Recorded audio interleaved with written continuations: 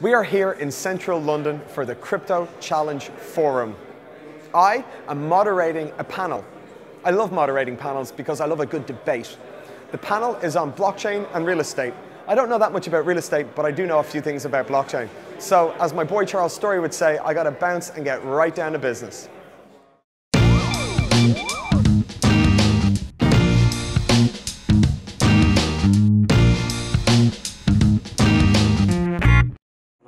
Okay, thank you all very much for coming, and uh, what an amazing two days it's been. Um, being here right till the end, you are the hardcore, you are the chosen few, you are the people that show determination to the end. So I absolutely love that. Random. uh, we only have 15 minutes, so let's get right down to business. My name is Shane Kehoe. I am the co-founder of SVK Crypto. Uh, we are a fund based here in London, but it's not about me. It is about our panel. So why don't we get them to introduce themselves? Let's kick it right off. My name is Steve. Uh, I'm CEO of Leaseum Partners, tokenized real estate fund. We invest in commercial property in New York, and we use the blockchain to enhance the liquidity offered to investors because our token is a share in our fund. Matthew Margetts, QuantmRE. We're an American property fund. We invest in American residential real estate. We allow the homeowner to sell a fraction of their home, up to 30%, and the retail public can then buy fractional uh, tokenized security. We are regulated and we have patents pending on our tech. Nice. My name is Kai. I founded the company called HIP, HIP Interactive Property. We're four years in the making. We're FCA regulated. We actually rewrote the permissions with the FCA so we can trade debt and equity on a contract, which is a prequel to a smart contract. Uh, as far as I know, we're the only company that have those permissions.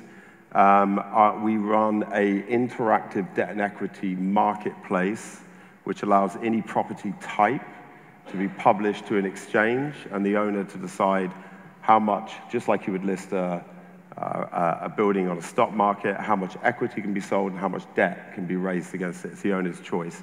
Interactive means that the debt and equity behave together. So equity is a currency in our model.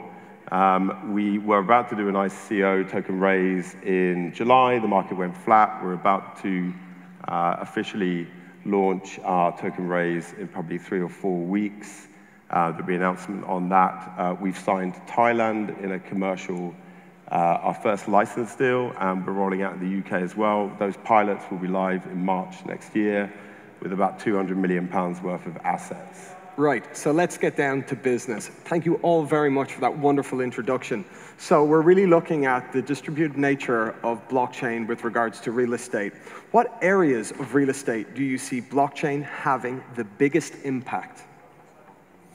Most likely fractional ownership. Um, one of the big um, barriers to entry to real estate investment is the large amount that's required for that, right?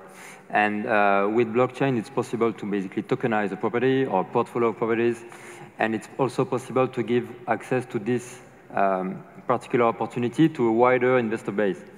And by tokenizing an asset that could be, could be worth a few million dollars, and by pricing each unit at $1, for example, it's possible to allow small investors to access this, this uh, product. Um, also brings more liquidity, etc. Matthew. Uh, I would agree uh, entirely. Uh, fractional ownership uh, encourages uh, um, investors to come into the sector. within the residential space, it's an antidote to equity release or debt. effectively, they're able to realize their capital. Um, and I think that moving forward, uh, the actual fractionalized piece will also provide business opportunities in the residential space for brokers and other parties to come in as valuation agents. Okay, same question to you. What areas of real estate do you see blockchain having the biggest impact? The, the, I've been in blockchain since 2013. I'm a Bitcoin casino. I've followed this space for a while. My adoption of uh, blockchain um, is purely around trust um, we work on fiat and uh, crypto investment scenarios, which means you can be either or. The point of the matter is that when uh, a trade is made, uh, you basically need a record of that trade. So uh, an investor in Japan putting money into a property in the UK, he could see that there is a ledger of only a million shares in that building, which might be priced by the house price index or, or graded in a certain, certain way. But when he acquires that, um, and he acquires it through a smart contract, and he moves his money digitally, he's saved on the transfer of cash, and he can trust beyond the nature of our company HIP, that that, that, that uh, investment scenario is safe. So there are two sort of straightforward fundamental uses of blockchain. It's a mutable register of your, your, your investment scenario. If HIP switches off, they can use that contract to retrieve their debt, or a receiver, official receiver can do that. Um, and the movement of money, because it's uh, property and it will get into the billions, can be done at a fraction of the cost that you would transferring through a bank, and it's immediate. So we, we go back to its basic uh, principles to use it in our model. Matthew, with regards to fractional ownership, what are the challenges facing the adoption of fractional ownership? What, what are the challenges in order for that to be adopted and to be used? Um, well, if I was to put my marketing hat on, it's a challenge, it's an opportunity. Um, you can encourage people to own property in Bel Air. You can encourage people to own you know, bits of Beverly Hills. Um, the truth of the matter is, um, fractional ownership needs to be understood in terms of, and, and, there was a panel earlier in terms of the legal discussion, what are your rights of ownership? Those need to be explained, those T's and C's need to be there. But actually, I think, uh, again, this panel was, you know, one of the questions was, you know, whether blockchain will transform the industry. I just think it, technology enables the industry to move, and I think the barrier to adoption is the appetite of the investor public to look at these new asset classes and feel comfortable investing in them. It is a case of trust. David, but I think real estate is easier because it's a tangible asset. Understood. David, do you think that there is a responsibility for someone like yourself to be out there educating and discussing fractional ownership in order to get that level of comfort that Matthew was talking about? Yes. David. Steve. Steve. um, for fractional ownership, I, I believe that uh, one of the main, um, let's say, one of the main issues is really people to understand what they can get with it.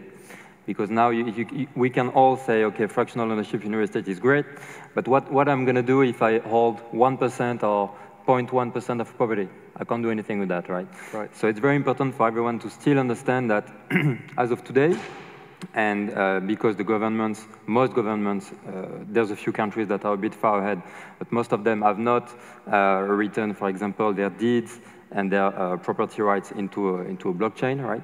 Um, it's still at a private level that the fractional ownership can happen. And um, from my perspective, the main um, way to use it and to put it in place and in practice today is to, to offer fractional ownership of a portfolio of properties. And investors, or actually token holders, can get fractional ownership rights on that portfolio. And what does that mean? It means that the portfolio needs to be managed by an investment manager. And this is what firms like, like ours do, basically. Yeah. What are the main benefits that blockchain technology can bring to the real estate industry? Uh, transparency, really. I mean, it's, um, I, I, use a blockchain um, when it comes to the product as a very hidden uh, uh, technology because uh, adoption, real estate is uh, it's a very complex industry, which is why it's taking us so long to work out how to, to achieve it. And, and if you go to the market with a concept um, which is about fractional ownership, that itself is a challenge. So you don't want to bombard them with, with blockchain technology and all these things as well. It, it hides in the background, right? The front of the house of the product means that somebody can, can, uh, can view their property in parts rather than the whole. Um, and underneath that, the, the technology which allows this to happen efficiently uh, and effectively is blockchain. So you'd only know about it as a customer if you drilled into it as far as our product's concerned. We don't talk about that to, to, for mass market adoption. Understood. And Matthew, what are the main benefits that blockchain technology can bring to the real estate Well, industry? I mean, the, uh, uh, the real estate industry is broken down obviously for homeowners, buyers, institutional investors, REITs, what have you, and each component can benefit uh, in as so far as as a fund, we can match and record instances of purchase um, relatively cheaply because the processing power is there, the um, nature of blockchain is immutable. I think, as I alluded to earlier, estate agents, at the moment they have an outcome event with a client where you buy and sell a house. Theoretically, you would be able to increase their scope of business to include buying and selling a share of a house. So just in that point, you get an extension of business hours and business opportunities. Um, homeowners, if you rent, or rather if you own a second home, um, you would be able to realize value within that without taking on debt, so on and so forth. It cascades down. The blockchain enables a record to be kept uh, at a relatively cheap price. And Stephen, how difficult will it be for existing businesses to make the switch over to blockchain or have a certain proportion of their business on the blockchain? So I think, I believe there, are two ways to do it. Um, first, first way, an investor can do it just in investing into a blockchain firm or blockchain real estate business or acquiring some other, some other ventures. But uh, to be specific to the real estate part of it, if um, a large broker um, or an investment firm wanted to get into the blockchain and to tokenize, to tokenize some of their portfolio, for example, they can certainly do it with a few firms that have some experience, but if they want to develop the skill in-house, it's still quite difficult in terms of legal skills. Um, it's, it's not easy to, to attach the link of property rights to a token. It's very difficult, actually. And uh, depending on the jurisdiction, if you are in the US, not in the US, if you want to allow non-US investors to invest in US real estate with withholding taxes, etc., it's very, it's very complex. So I think it will take, it will take some time for um, mass adoption. Um, Matthew, also the same question for you. How difficult will it be for existing businesses to have a proportion of their business uh, adopting blockchain technology? Well, as a case in point, QuantmRE started life as a conventional real estate fund, but we were helping people realize equity in their home by selling it on. The blockchain has enabled us to scale at a faster rate all of the things that we do as a fund anyway are subject to governance and regulation. So in, in fact, our biggest impediment has been to meet, as you uh, alluded to earlier, the regulatory requirements. The biggest hurdle, perhaps, potentially, will keep the balance of property for sale with the investing public going um, in even balance, or in fact, asymmetry. Kai, um, with regards to your vision going forward, um, because it really feels like we're in the early, early stages. It feels like when, when I speak to our investors that we're 1992, 1993, almost pre-Netscape days when we're looking mm at blockchain technology. But it's moving fast. Mm -hmm. And for me, being a macro view, I'm always looking at what's the potential. Yeah. Um, can you give me your view in the next five to 10 years of how your industry will change and what it will currently look like with regards to the adoption process with regards to blockchain technology?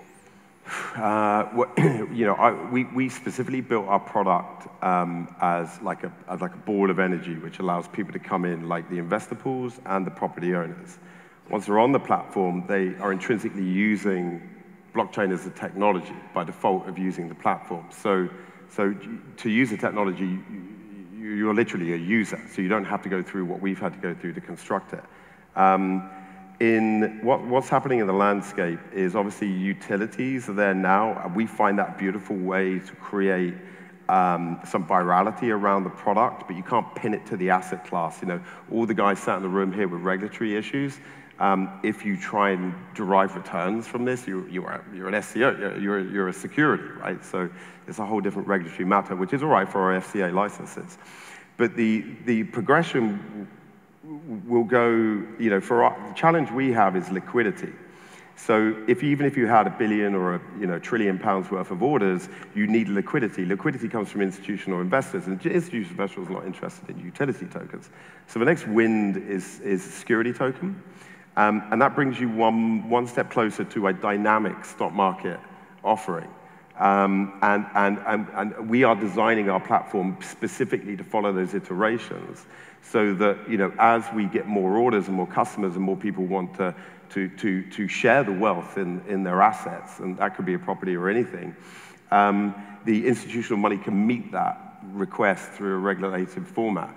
Because it's unlike all the other crypto companies which sit outside of touching land-based assets, they can live in this ether um, and provide services that aren't regulated. We're somehow with monstrous problems of bringing, you know, Dickensian models into a modern landscape. Yeah. And um, it presents a lot of challenges. So the regulation side of it is something that you, you, as part of the business practice, you always have to be on top of. And that's why we, we, we are regular contact with the FCA. We have FCA advisors in-house. We have, um, we've met the government, we've met the Treasury, we've spoken to them about the concept you know, it's important that these people are close to us because if this technology is going to be adopted, we need them to adopt it as well. Matthew, so, five-year view, five, ten-year view, what's it looking like? I used to work for Microsoft, and many years ago I was flogging cloud to people who didn't care, didn't want to know about it, didn't give a shit, or, uh, you know, banks on-prem, don't want cloud. And now my kids store their photos on the cloud and talk about the cloud. I think blockchain will go in the same evolution. People will move beyond the barriers, and you look at what IBM are doing on private chains and bits and pieces, and everyone will start to use it. In the real estate market, it is a way of monitoring and managing asset flow. Simple. And Stephen, your, your five to 10 year view on how this space will look? I really, I really believe that uh, tokenized securities will replace uh, traditional securities because at the end of the day, they are both digital, uh, they are just more uh, efficient, um, bring more transparency, and uh, actually are very easy and easier to work with in terms of compliance. And I also believe that will make the work of the regulators easier. Well, I think we have some challenges, uh, but I would like to thank my panel all for some expert answers. Thank you very much for being involved. Certainly for me, as I look at the space, the writing's on the wall. I couldn't be more excited. Um, it's going to be a wonderful journey, and uh, we, are, we are in a wonderful time uh, to be investing and to change the world. So thank you all Beautiful. very much, and thank you all very much for that. Thank you, okay. Shane, for a terrific panel. Thanks Much appreciated. Thank you very much.